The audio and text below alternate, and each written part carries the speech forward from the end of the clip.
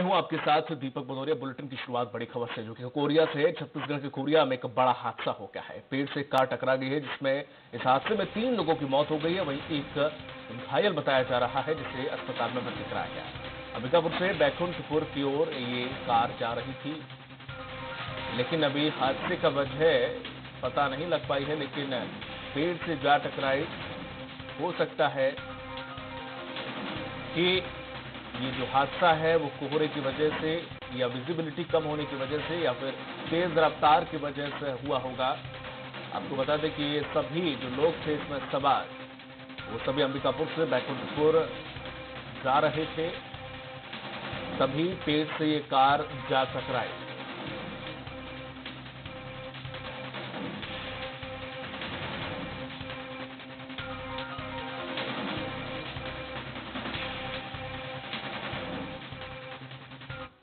वही मुख्यमंत्री